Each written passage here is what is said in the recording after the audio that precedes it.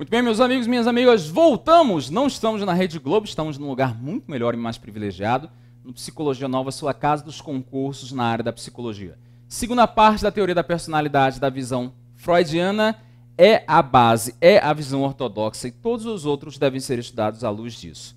Bom, tem um autor, tem um cara bacana pra caramba, que é o Zimmermann, infelizmente faleceu. Ele escrevia demais, então chegava uma hora que eu dizia: não, pelo amor de Deus, não lança mais um livro, porque eu acabo tendo que trabalhar esses livros para concursos. Mas, apesar das críticas que eu tenho com relação a esse autor, um autor nota 8, que é um autor na minha escala muito bem recomendado, David Zimmerman, porque ele criava a teoria. Ele falava, olha, tem essa classificação daqui, mas eu acho que seria prudente se o Freud tivesse interpretado dessa forma. E aí dava uma raiva danada. Por quê? Ele aumentava a teoria freudiana, que já não era pouca coisa. Esse cara fez uma das melhores sistematizações, na minha modesta opinião, para o entendimento real da visão freudiana. Foi além da decoreba. Então eu passo ele como uma orientação para você. Se você puder, procure aí Fundamentos da Psicanálise do David Zimmerman. Vale muito a pena. É um livro denso, às vezes difícil de leitura, de leitura travosa, mas ele nos brinda com o entendimento dele acerca dessas teorias, dessas abordagens, das escolas freudianas. Traz um pouco de história e sistematiza bastante esse conhecimento vem lá de trás, então, do início da visão freudiana até a escola de Viena e tal, trata de Bion e vários outros autores, e ele vai nos brindar aqui com essa, essas fases da teoria freudiana. Antes de nós falarmos, antes que você pegue algum tipo de trauma, eu vou explicar o seguinte. Temos Pontales, nós temos o, o Freud, ah, perdão, temos o Pontales, Laplanche, nós temos essa visão daqui do David Zimmerman, e temos diversos outros autores, o próprio Lacan, Cada um tentou interpretar a visão freudiana de um jeito próprio. E nem sempre essas classificações, aliás, nunca essas classificações coincidem. Eu vou apresentar aqui a que eu acho mais relevante, apesar de eu gostar também da classificação do desenvolvimento das fases da, da visão de Pontales e Laplanche. Aqui eu trago para vocês o que é mais relevante para o seu concurso, perfeito? Dá uma olhadinha aí comigo então. O David Zimmerman vai tratar dessas seis etapas. Quais são as seis etapas? Primeiro, Freud começou com uma teoria baseada no trauma, no sentido de que o sujeito passou por um trauma na infância e tal, aquela história do determinismo psíquico que nós falamos. A segunda teoria, a segunda fase freudiana, e nós podemos entender também como sendo uma evolução, não como uma substituição, jamais pense isso, mas como uma evolução, uma adição a segunda teoria vai tratar da visão topológica freudiana, a da primeira tópica. Então, teoria topográfica. Primeira tópica. A terceira etapa vai tratar de uma teoria estrutural. Segunda tópica. A quarta teoria vai tratar de uma teoria do narcisismo, a, a força do narcisismo. Temos o narcisismo primário e o narcisismo secundário. Então, Antes que você fique em dúvida, eu vou explicar daqui a pouco o que é o narcisismo primário e secundário, mas se liga aí para não confundir. Princípio do prazer e princípio da realidade. Processo primário e processo secundário. Narcisismo primário e narcisismo secundário. Repetindo, princípio do prazer e princípio da realidade. Processo primário e processo secundário. Narcisismo primário e narcisismo secundário. Faz uma tabelinha, vai anotando aqui ao longo da nossa apresentação e depois me manda, nos marca aí na sua postagem, a gente comenta, a gente conversa no Facebook, no Instagram também. No WhatsApp, mais ainda. Perfeito? Então, faz uma tabelinha de coração, você vai precisar disso para diferenciar e não cair em nenhuma casca de banana durante a sua prova. Primeira teoria, aliás, teoria do narcisismo ainda, nós estamos falando sobre isso. Teoria do narcisismo. Narcisismo primário é uma fase orientada para dentro, é uma fase que nós vamos chamar de fase autoerótica, diferente do narcisismo secundário. No narcisismo primário, nós buscamos a satisfação imediata. É o primeiro modo de satisfação da libido, onde as pulsões buscam a satisfação no próprio corpo. Ainda não existe um ego organizado, uma unidade do ego, nenhuma diferenciação real mundo, do mundo. Então, o que, que acontece? O bebê quer uma satisfação imediata. O narcisismo primário está orientado, então, pelo princípio do prazer totalmente. Você deve pensar que o ego se forma de uma vez só na organização da personalidade humana? Não nós temos interpretações, núcleos que vão se formando e ao longo do tempo vão se agrupando e criando essa, essa estrutura que é a estrutura do ego. No narcisismo primário nós não temos o ego, é pré organização do ego. É direto. Professor, mas Freud falou que o narcisismo primário continua existindo ao longo da vida. Continua existindo. Porém, ele fica submerso pelo narcisismo, narcisismo secundário. O que vem a ser, professor, esse narcisismo secundário? Ora, é um investimento objetal que o sujeito vai fazer no ambiente e o retorno desse investimento para o ego. Então, narcisismo primário, sem ego, aqui com ego. É a principal diferença. Então, o bebê já consegue diferenciar o seu próprio corpo do mundo, da própria realidade. Então, ele concentra em um objeto, ele se concentra em um objeto das suas pulsões parciais, geralmente na mãe. É aquele bebê que já está sorrindo para a mãe para ser é, simpático, legal, em busca de alimentação, de carinho, de atenção, de tudo. Nesse caso, esse bebê que já está induzindo o ambiente em relação aos comportamentos, como diriam os skinnerianos, já está trabalhando com um comportamento operante, esse bebê já está funcionando a partir de um princípio do narcisismo secundário. O narcisismo primário continua ao longo da vida, mas ele é submerso, como eu falei antes, pelo narcisismo secundário. Perfeito? Dissociações do ego, isso é que nós precisamos entender. É uma quarta, aliás, uma quinta etapa da visão freudiana. Aqui nós ampliamos a teoria dos conflitos para uma teoria também intrasistêmica dentro das próprias estrutura, estruturas. Segundo Zimmermann, foi menos uma fase, mais uma base para outros autores, como por exemplo o Bion. Olha, nós temos os caráteres. Caráteres. Aliás, é um plural meio ingrato. Caráter. O que vem a ser um caráter? Você vai anotar aí. É uma forma de estruturação da personalidade. Vai depender, veja bem, vai depender da fixação que nós temos em determinadas fases, como nós podemos perceber em nosso mapa mental. Dá uma olhada aí. É determinado pela fixação em fase de desenvolvimento. Então nós temos o caráter oral, pela fixação na fase oral, o caráter anal, pela fixação na fase anal, o caráter fálico e o caráter genital. Caráter fálico aí é orientado orientado pela fixação na fase fálica. E por último, caráter genital, que é quando o sujeito já se resolveu, já está livre e está orientado para a fase genital. Então vocês conseguem perceber quatro tipos de caráter aqui. Mas, professor, são cinco fases freudianas. Tá faltando um caráter, tá? O caráter da latência. Mas eu falei para você que o caráter é definido pela fixação. Não podemos nos fixar na latência. Por quê? Porque foi a regra do jogo que o Freud colocou. Então nós não temos fixação nessa fase, não, não vamos ter cará um caráter ligado à fase da latência. É bom fazer essa anotação, uma mera curiosidade, mas pode salvar a sua vida na hora da prova. Qual que é a diferença entre ca cada um desses caráteres? Vamos fazer as anotações necessárias, porque eu não quero ninguém errando isso. Primeira coisa, o caráter oral, ele vai ser caracterizado pelo otimismo. E aí eu já sei como é que a banda toca, como é que isso funciona. Você vai começar a classificar as pessoas ao seu redor, você mesmo vai classificar o professor, sua mãe, pai, filho, Espírito Santo. Isso é concurso. Isso não é vida real. Eu sempre uso essa frase. Não é pelo fato de você ver a teoria, ver a realidade, perdão. Não é pelo fato de você ver a realidade através dos olhos de um autor que essa teoria seja real. Não perca tempo classificando ou tentando diferenciar. Entenda a lógica aqui da regra do jogo. O trabalho que nós fazemos aqui no Psicologia Nova é isso. Entender a regra do jogo para a formação da personalidade, por exemplo, na visão freudiana. O caráter oral é caracterizado pelo otimismo, passividade, e dependência. Esse é o primeiro ponto. Temos transtornos alimentares associados, depressão associada ao caráter oral e tal, beleza. O caráter anal é caracterizado, isso já foi questão de concurso, pela ordem e a parcimônia. Professor, que palavra antiga? Bem antiga mesmo. Parcimônia é a economia. E teimosia. A parcimônia é a economia. Temos o caráter fálico, onde nós encontramos dificuldades na formação do superego. Regras sociais, problemas. Olha o complexo ético aqui. Com regras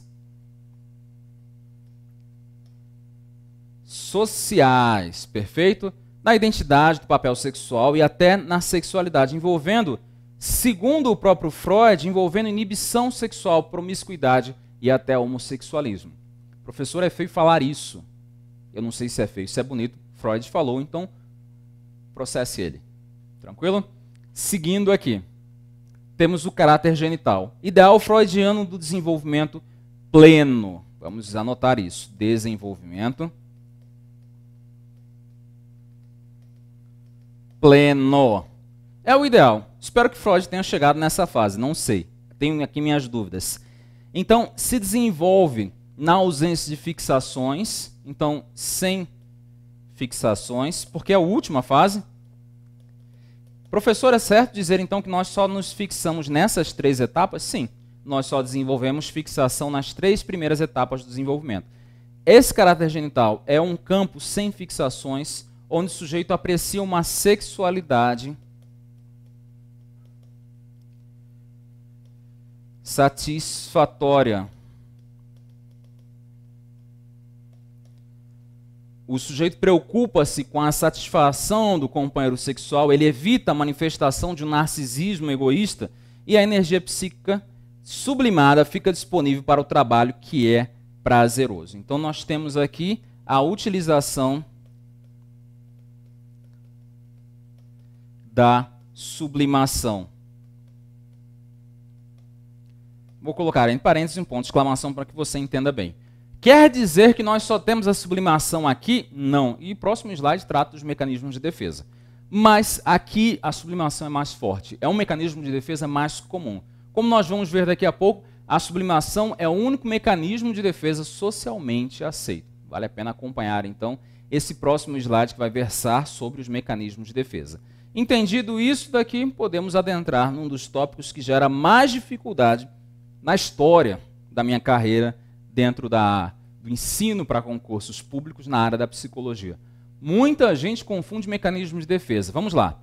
Freud nunca fez uma lista dizendo: olha, gente, para concursos são esses aqui os mecanismos de defesa. Freud nunca fez isso.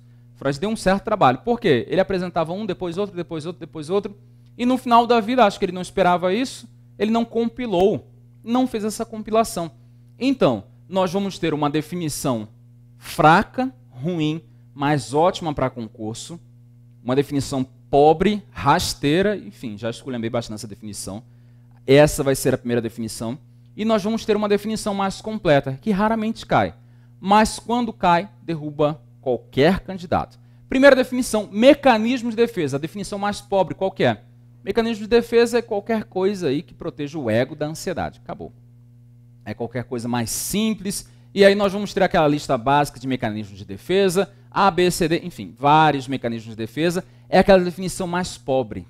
É aquela definição que apenas fala, não, o sujeito entrou com uma estratégia aqui e se protegeu da ansiedade. É a definição mais simples, é a que mais cai. Então, o aluno olha para ela e pensa, olha, eu tenho cinco mecanismos de defesa que eu decorei. Eu não quero que você decore, eu quero que você aprenda. E por isso nós vamos tratar da segunda definição de mecanismo, mecanismo de defesa. Ela é mais difícil e mais complicada, mas é mais ampla. Olha só. Nós falamos que mecanismo de defesa é qualquer estratégia que nós utilizamos para, é, digamos, estruturar não, mas afastar a ansiedade do ego. Beleza, é a visão mais pobre. Vamos aumentar, vamos dar um fermento para ela. Além disso, todo mecanismo de defesa traz uma certa segurança para o sujeito. O mecanismo de defesa pode ser de qualquer tipo. Nessa visão mais pobre, a gente acaba lembrando de 4, 5, 6 nessa visão, qualquer coisa que nós fizermos para afastar essa ansiedade do ego, qual, ponto e vírgula, qualquer coisa que nós fizermos para aumentar a sensação de segurança vai ser entendido como mecanismo de defesa. Por que, que eu falo isso? Nessa primeira visão, nós decoramos. Projeção é um mecanismo de defesa. Nessa segunda definição, que é a que eu quero que você guarde, porque ela é mais ampla, você aprende.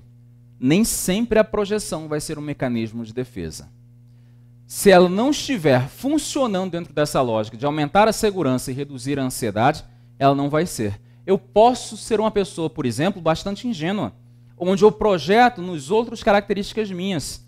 Ah, tal presidente não faria jamais isso? Ele é uma pessoa boa. Veja, ele está se desculpando em rede nacional. Ele não iria querer se digamos, queimar com os seus eleitores, eu estou projetando uma coisa boa. Isso reduz a minha ansiedade? Isso aumenta meu senso de segurança? Aumenta talvez o meu processo de identificação, mas não vai ser entendido como mecanismo de defesa aqui. Melanie Klein vai bater muito forte nesse ponto. Freud deixou um pouquinho a desejar. Então, só vai ser mecanismo de defesa o que de fato, diretamente, você pode dizer lá, mas lá no fundo dá uma certa tranquilidade pensar dessa forma. Não pensa muito longe. Diretamente tem que trazer esse tipo de reação. Quer uma aplicação dessa regra, dessa segunda definição que eu acabei de dar? Narcisismo. O narcisismo, dependendo da questão, pode ser entendido como mecanismo de defesa ou não. Qualquer, qualquer mecanismo da psicanálise pode ser entendido como mecanismo de defesa ou não, se nós utilizarmos essa visão ampliada. Ficou claro? Condensação, deslocamento, projeção, introjeção, raiva, é uma coisa mais operacional. Professor, raiva, isso já teve questão de concurso, claro, banca muito pequena, que considerou esse processo agressivo como sendo um mecanismo de defesa, uma forma de se proteger. Ah, então eu tenho que entender como é que essa dinâmica se aplica. É, mas naquelas questões que fala só são mecanismos de defesa, guardou as informações e corre para o abraço, é mais tranquilo. Perfeito? Vamos lá, eu trouxe aqui uma lista bem simples. Dá para nós aumentarmos, duplicarmos ou triplicarmos essa nossa lista, mas não é o meu objetivo. Mecanismos de defesa têm a função de lidar com as demandas do id e com as cobranças do superego. Isso aqui entra naquela visão 2 que nós acabamos de dar. Defesa psíquica contra a ansiedade. Busca de segurança. Evita, definições aqui, evita a dor. Tudo isso eu posso utilizar. Anotou? Vou apagar para que nós economizemos um pouquinho de espaço, porque agora tem coisa para caramba. Dá uma olhadinha aí. Primeiro mecanismo de defesa. Qual que é o primeiro mecanismo de defesa? É repressão. Aqui nós vamos ter o processo pelo qual afa nós afastamos da consciência conflitos e frustrações. Frustração, a repressão vai ser diferente do recalque. Já vou adiantar esse tópico que nós iremos falar só daqui a pouco. Enquanto que na repressão, essa é a visão ortodoxa, é a ideal. Se a sua banca confundir, se a sua questão confundir, confunda também. Seja muito perspicaz na hora para saber se a sua banca está confundindo ou não. Grande maioria das vezes há essa confusão. Na repressão, nós afastamos da consciência a informação. No recalque, segundo o próprio Freud, na, na versão original, Zimmermann defende isso, nós levamos a informação para o inconsciente. Essa é a diferença. Professor, então toda repressão é um recalque? Aliás, todo recalque é uma repressão? Porque quando eu afasto, eu levo para o inconsciente, eu estou afastando da consciência. Eu não me sinto seguro em dizer isso, que toda repressão é um recalque, todo recalque é uma repressão. Eu separo. Hora da prova eu percebo, pô, eles têm um conhecimento mais afinado aqui. Repressão, afasto do consciente. Ponto. Recalque, eu levo para o inconsciente. Afasto do consciente e levo para o inconsciente. Recalque, levo para o inconsciente. Perfeito? Adiantamos já um ponto onde nós pararíamos pelo menos uns 5 minutos para falar. Está resumido então. Formação reativa consiste em ostentar um procedimento e externar sentimentos opostos aos impulsos verdadeiros indesejados. Então é aquele sujeito, eu lembro muito desses casos, e é sempre o mesmo caso que nós aprendemos durante a faculdade, meus alunos sempre trazem o mesmo caso. É aquele sujeito que tem um desejo dentro dele, consciente ou não, mas que manifesta um comportamento totalmente contrário. Recentemente, no início desse ano, não sei se vocês viram essa reportagem, um casal de skinheads que agredia homossexuais se casou dentro do presídio. Olha que coisa legal. Melhor exemplo que formação reativa disso não dá. Aliás, dá.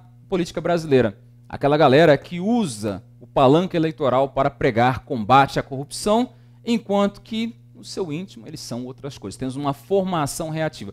Professor, na corrupção e nesse outro caso que você falou de agressão, de homofobia, nós temos a formação reativa? Nós temos sim. A expressão de um comportamento pró-social, um comportamento onde nós gerenciamos a expressão positiva para os outros. A galera politicamente correta também, no Facebook, que habita o Facebook aí, sofre em grande parte dessa formação reativa. É só ver o histórico daquela galera que faz questão de corrigir os outros. Formação reativa. Já sabe como é que vocês podem falar para o coleguinha de vocês, para que eles manerem um pouco. Joia? Formação reativa. Outro tópico interessante, projeção. Nessa, na projeção, gente, nós atribuímos aos outros as ideias e tendências que o sujeito não pode admitir como suas. Veja, eu projeto para os outros a visão ortodoxa, eu projeto para os outros as coisas que eu tenho de bom, como mecanismo de defesa, não. Eu projeto para os outros, eu elejo um objeto e interpreto esse objeto como tendo essa característica, ao que eu tenho e que eu não gosto. Quando for mecanismo de defesa, é essa interpretação que vocês têm que ter. Perfeito? É algo que eu tenho dentro de mim que eu não gosto, não suporto, mando além. Temos a fixação, e acabou se juntando com a sublimação, faça a correção, aqui é um outro subtópico. A fixação. O que é a fixação, professor? É um. Opa, pulamos da. Desculpa, acabei pulando na regressão. Na regressão, nós temos o retorno a comportamentos imaturos, característicos de fase de desenvolvimento que a pessoa já passou. Nesses comportamentos imaturos, nós podemos, por exemplo, colecionar objetos. Um exemplo único, a gente vai trabalhar bastante com isso. Por quê? Porque na realidade nós não estamos satisfeitos com o nosso momento presente nós não estamos bem com o que nós estamos vivendo. E a tendência, então, é que nós temos esses comportamentos imaturos. Esse mecanismo de defesa de regressão é mais comum durante a infância e o início da adolescência. Perfeito? Não é esperado na idade adulta. Alguns podem até ter, mas não é tão comum. Próximo mecanismo de defesa, fixação.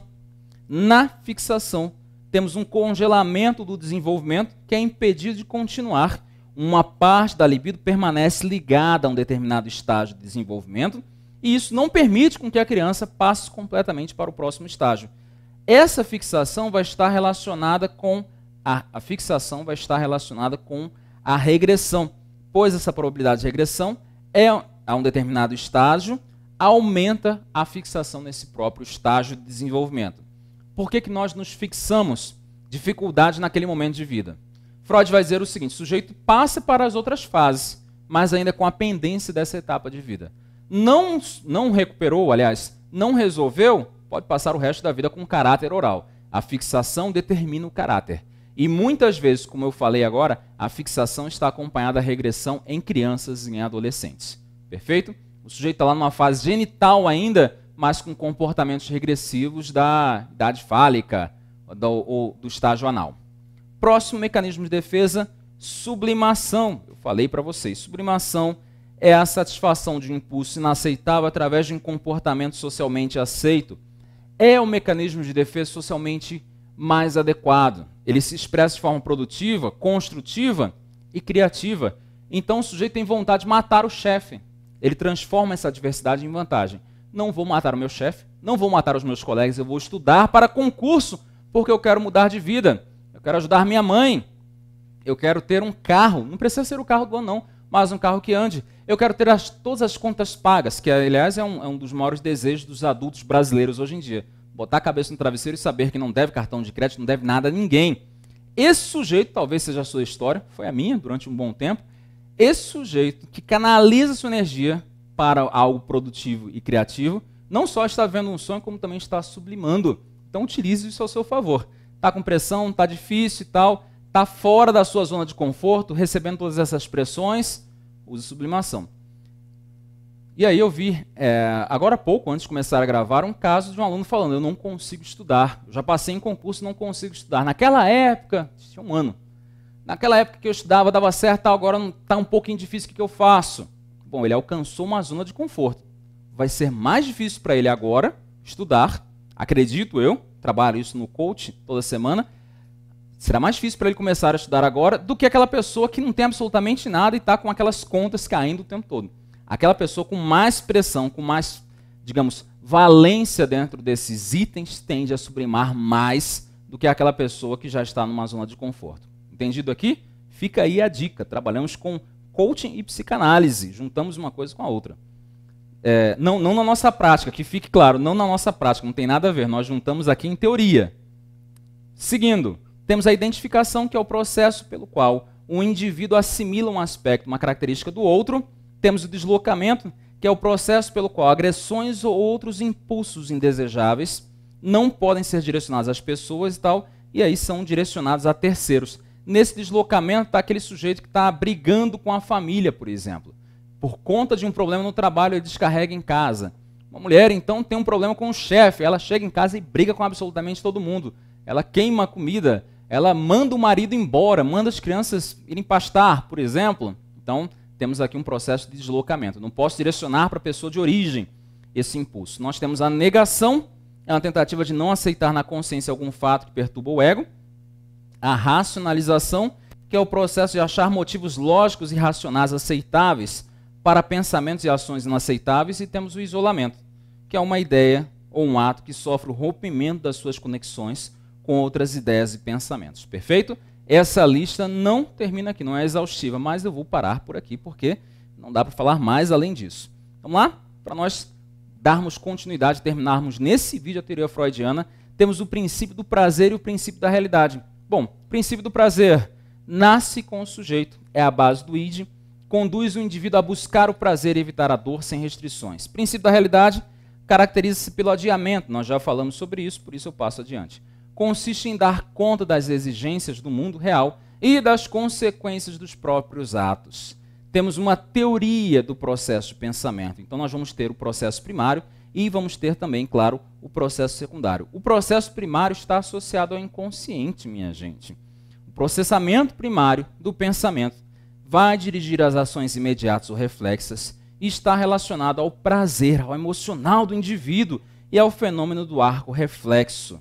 Processo primário, inconsciente, prazer e imediatismo. Né? A energia presente no aparelho mental vai fluir livremente pelas representações, do polo do estímulo até a resposta. Processo primário. Energia livre. Processo, essas teorias do processo pensamento têm a ver com a forma de catequização, de ligação dessa energia com o pensamento que nós temos. No processo primário está tudo solto e está tudo sendo governado pelo inconsciente, pelo id, para ser mais é, específico. No processo secundário de pensamento, nós temos o pré-consciente. Pré-consciente. E aqui nós vamos ter o que o Freud chamou de ação interiorizada, um processo racional de pensamento. E aí o escoamento da energia mental vai ficar concentrado e coordenado, só acontecendo após uma série de associações as quais refletem no aparelho psíquico. Então, essas ações decorrentes dessa forma de processamento vão ser tomadas como base no mundo externo, baseadas no mundo externo. Perfeito? No contexto em que a pessoa se encontra e em seus objetivos. Assim, ao contrário da energia do processo primário, que é livre, a energia do secundário é condicional. Energia condicional. Está sujeito, portanto, a quaisquer ações. Bem rapidinho para nós terminarmos, nós temos o conceito de deslocamento e de condensação. O deslocamento é um mecanismo de defesa quando atua, consiste, geralmente, lembrando das definições que nós demos, consiste em transferir a energia de uma representação muito carregada a outra não anula o substituto e sim o integra numa cadeia associativa é a transferências, é a transferência, perdão, aqui, de emoções ou fantasias do objeto a quem estava originalmente associado, é a transferência da libido de uma forma de expressão para outra. Vamos entender o seguinte: tia Tânia, na terceira série, fez o seguinte experimento com você. Ela falou: olha, você vai colocar uma chaleira no fogo, a chaleira vai começar a borbulhar, soltar vapor. E em cima você vai colocar uma frigideira com gelo em cima provavelmente você fez isso. Se não fez, perdeu muito tempo de vida, porque era uma experiência bastante interessante naquela época. Hoje em dia, não faça isso não, senão você me mata de vergonha. Vamos entender que essa chaleira aqui está fazendo o deslocamento. Então ela sai quebrando essas moléculas de água e liberando elas em forma de vapor. É o que vai acontecer no deslocamento. Nós tiramos a energia de alguns locais. Enquanto que na condensação nós estamos fazendo o papel dessa frigideira aqui. Eu sei que a comparação é meio ruim, mas é mais fácil visualizar. Na condensação, literalmente, nós pegamos essas moléculas soltas, essa energia solta, e acumulamos em algumas ideias. Galera, então nessa condensação, nós pegamos essa energia que está solta, está deslocada, e investimos em uma ideia, em uma informação. Quanto mais nós condensamos em algo, mais esse algo se torna forte para a nossa consciência. E Freud vai trazer aqui como exemplo essa expressão, reflete a intensidade de uma ideia, negrito então de uma palavra. Perfeito? Galera, é isso. Terminamos mais uma aula aqui do nosso Psicologia Nova. Espero que vocês tenham gostado, curtido, acompanhado. Não se esqueçam de se inscrever no nosso canal no YouTube, no nosso Instagram, no nosso Facebook. Fiquem conectados porque provavelmente disso daqui depende a sua aprovação. Sempre informações atualizadas para você, que é máquina mortífera. Um grande abraço, até as próximas aulas. Tchau, tchau.